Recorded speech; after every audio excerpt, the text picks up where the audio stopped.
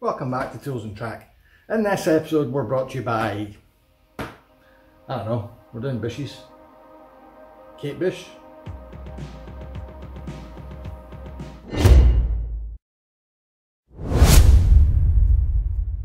So our TVR from factory comes with what's called a metalastic bush. That means it's got a metal and an elastic element to it. So this being our original wishbone, that's steel. There's also a steel outer ring that is pressed into this bushing. Inside the outer ring, there will be a rubber element, basically like a big oblong donut. That's what provides the flex and the cushioning. In the middle of this, there will be another smaller metal tube that allows the bolt to go through and bolt up, nipping up the whole joint without distorting the rubber. So, how to get these out? This outer ring is pressed into the wishbone or whatever joint it's located in. That means it's an interference fit. It's not exactly going to fall out the minute we loosen it. This and this and this are also impregnated together. So the whole assembly is, for lack of a better word to say, solid. Now, there are a wide variety of methods, often preached as being the best one online, for removing bushes. It's time for us to debunk, improve and literally bench test all of these. I'm prepared for a lot of this to fail and I'm doing it for you, my happy viewers. First up we're going to try is the threaded bar draw through method. Now it works a little bit like this. This threaded bar with the original washer that would have held it tight. On the other end, I'm going to put a socket on that will clear the bush when it starts to draw through, followed by another substantial washer and another nut. You can see how this one should work in theory. You tighten it up, it draws the bush out.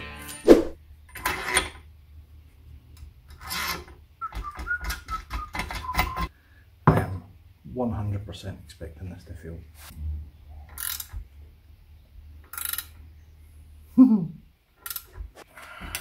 Let's go to failure. I suspect what's happening here is that we are stretching. Yeah, that's pretty far. So it's quite clear that's not going to work. We need something a bit more heavy duty. They never really stood a chance, did it?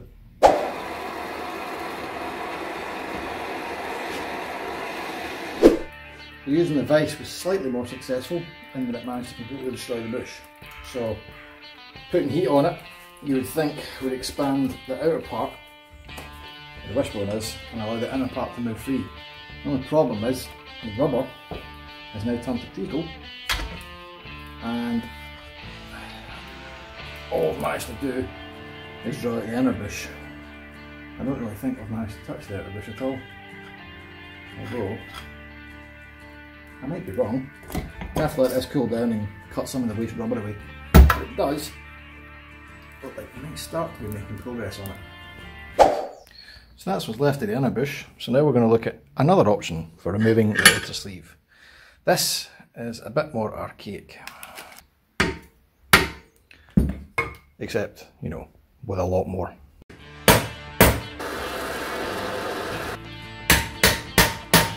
Let's look at one final option we've got before we start naming industrial tooling. And that is, just butcher it.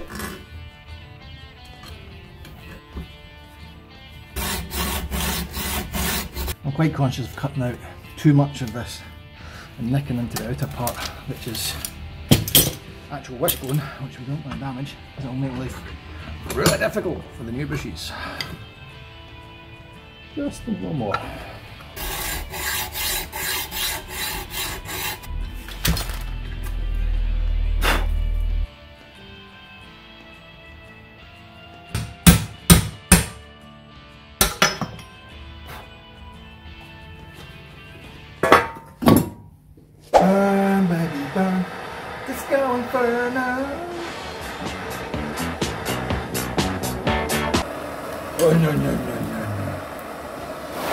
A wee tip when you're taking these bushes out, so you don't take them out in a big ball of fire.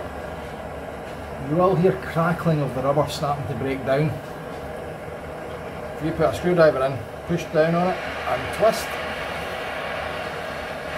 it'll start to move more and more but they will get to a point where the rubber breaks its bond. Once it starts doing that, push down, twist, and lever it out.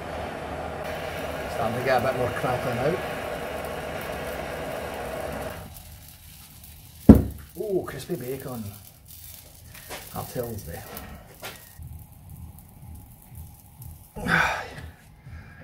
Come on, boy. Oh! No flames.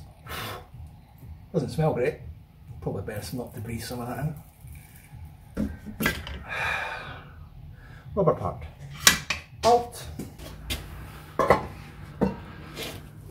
So we're now moving on to some of the rears after many, many, many days of removing bushes from the front.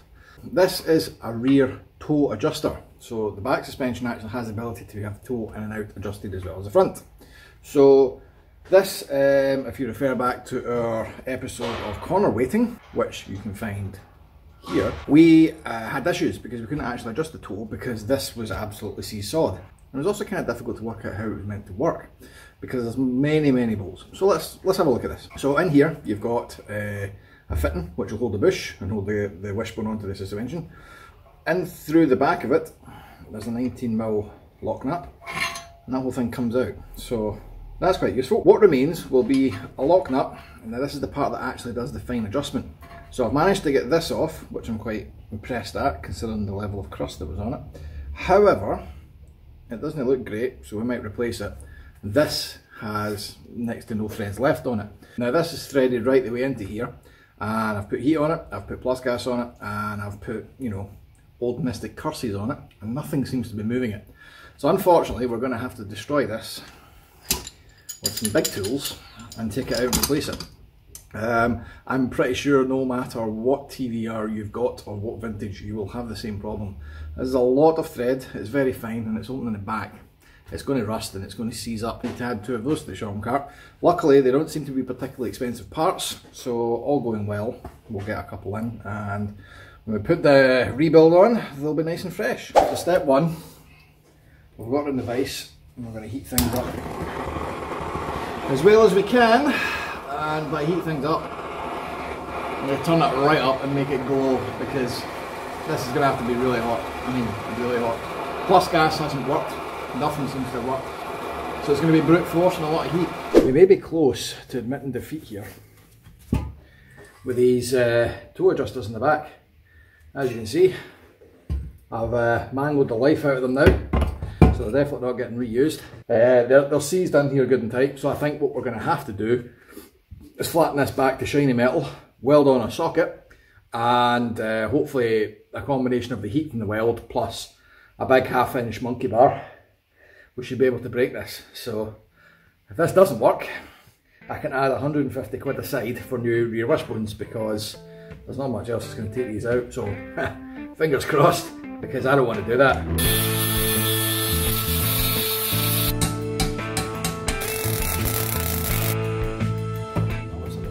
is on it, the longer it's under heat, the more it's going to help break this.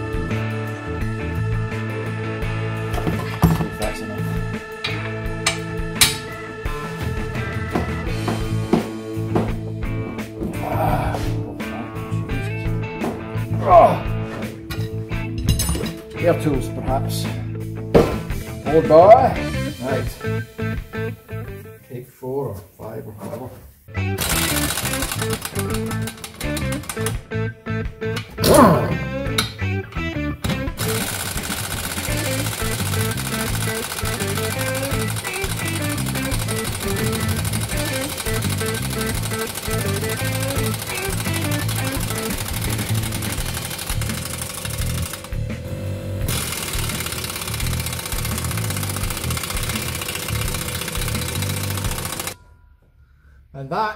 Boys and girls, is how you know if your welding's up to scratch. But that was a lot of banging, and a lot of thumping, and it's now two more things in the shopping list. Still, progress is progress. The upper rear wishbones are probably the smallest ones that you've got in the whole car. It's got its plus and its minus. That will be a very easy one to chop and pull out because there's very little meat holding in. This one will probably take a bit more effort. Uh, the big issue you're going to have is securing this guy, because obviously if you're going to be hammering it, you don't want to distort it, and there's very little meat in this to clamp, so uh, I'll show you how I do it and um, you can have a go, see what you think. There we go. Have to breathe it in as usual.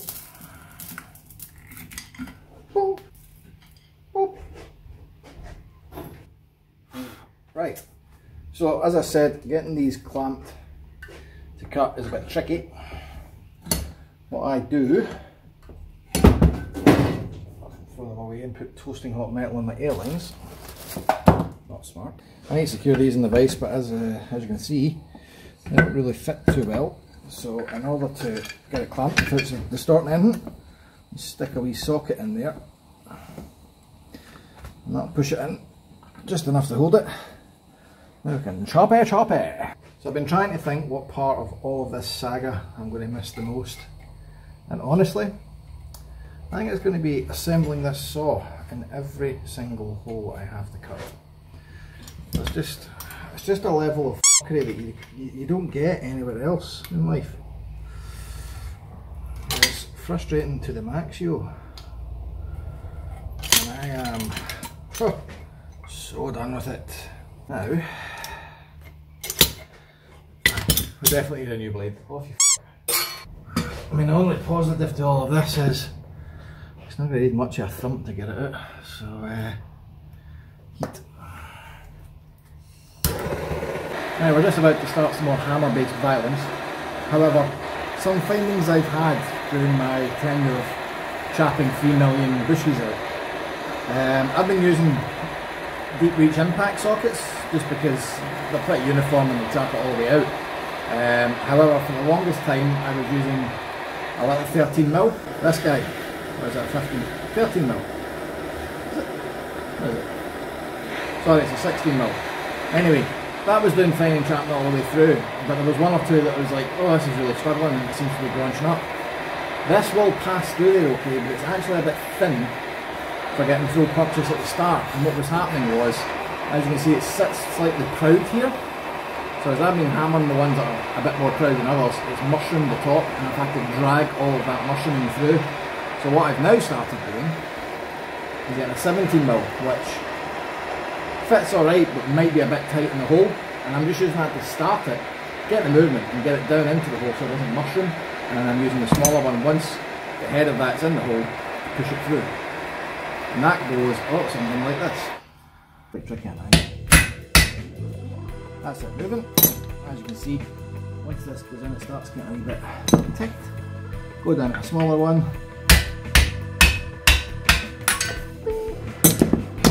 And you're out. Easy peasy. If you're only doing suspension, you can pretty much skip to the next part. However, this is your diff bush. Now, this is by far the biggest bush I've found in the car yet. Taking out a dowel, as per before, push some heat on it and it will fire out.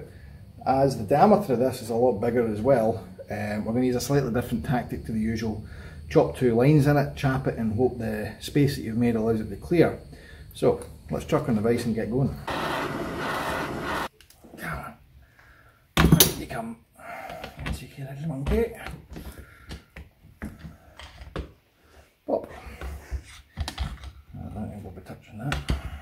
Once you've got the bush out, and you cut your usual notch just to get through the bush carrier and no more. Rather than do the usual socket trick, we will have enough slack to simply just break the guy.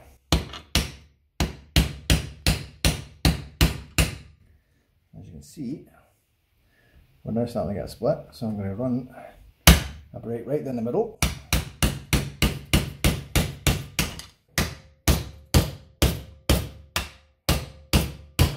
Once it's fractured all the way through, which looks a little bit like this, the whole thing will come out. Blop. Voila. So now, with everything that can be removed from the car done, there's one last bush we need to address. Sadly, it's on the chassis. Our last bush is this contentious little guy here that holds the back of the diff into the chassis.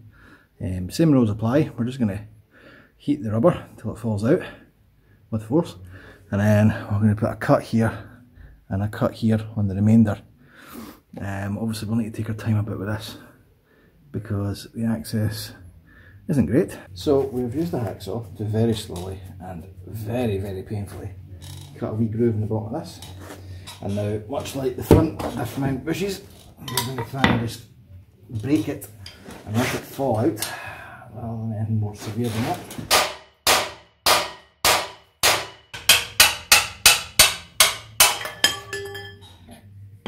Just like that. That is one big pile of crusty shit. But, crucially, it is one big pile of bush-free crusty shit. Aha! Special chop.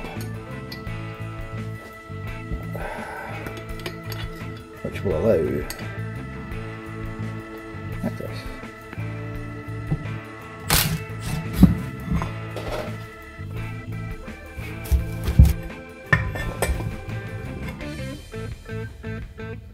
Oh. Honestly, I thought that was going to take a whole lot of bearing front. So yeah, the Milwaukee run out of puff with this one. Because it's its. We're going to have to bring in some reinforcements.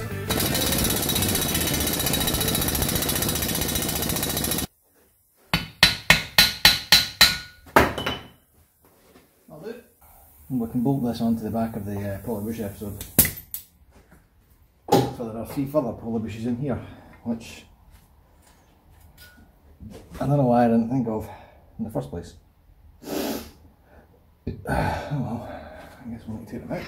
Yep, I forgot three outer bushes on the rear humps. Six to go. Just wait until the smoke comes out. Top one's out, just these two bottom ones, and then same MO. This is still my first tin of butane, by the way. I am, I am impressed with the volume just keeps going. Energize, energizer burner. Doesn't really work, does it?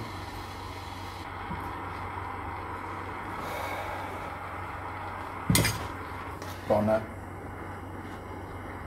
So as usual, leave it to the very, very last one before I find a better way of doing things. Because that is the way. So rather than heating the outside of this and waiting for the heat to soak through the outer bush and melt the rubber, what I'm instead doing is if you heat the inner just by throwing the flame down the centre like that, what you'll find is that it heats up the rubber a lot quicker, which means you can push the inner bush out quicker and just dig the rubber out, but it will save a lot of time. Boom, straight out. That was easy, wasn't it? Why couldn't I have thought of that many, many hours ago?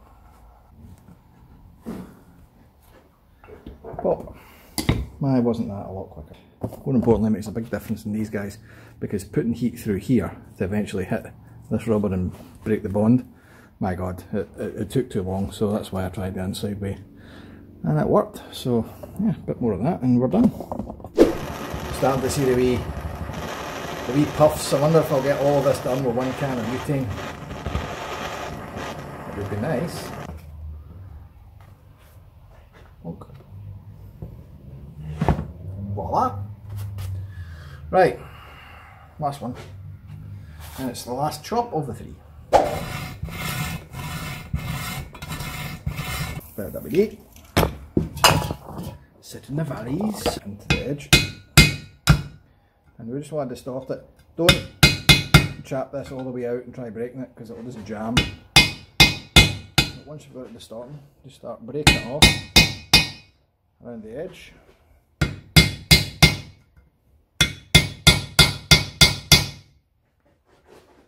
We'll find is a bit more WD I think, just to get into that gap we've just made. There we go, a wee bit of a drop.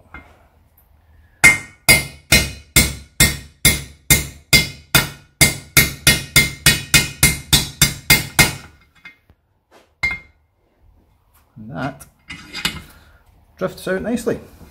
The other good point about doing it like this is that because, there you go, that's a nice wee fracture line right the way through, um, because we're not going on two sides. There's less risk of you going all the way through this and nicking the body. So seems to be working well on these. I don't know if it's going to work on the other ones because obviously I'm done now um, and I never want to do them again.